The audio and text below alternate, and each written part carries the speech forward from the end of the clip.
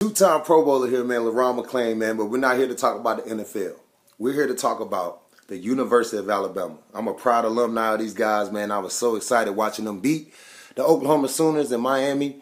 And hey, I cannot wait for my guys to get out to Santa Clara, man, and, and defend our national title against who? The Clemson Tigers, part four.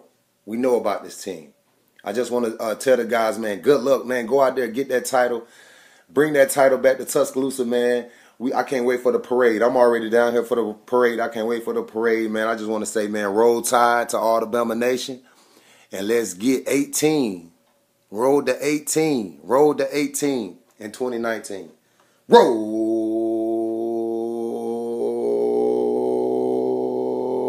tide. Roll.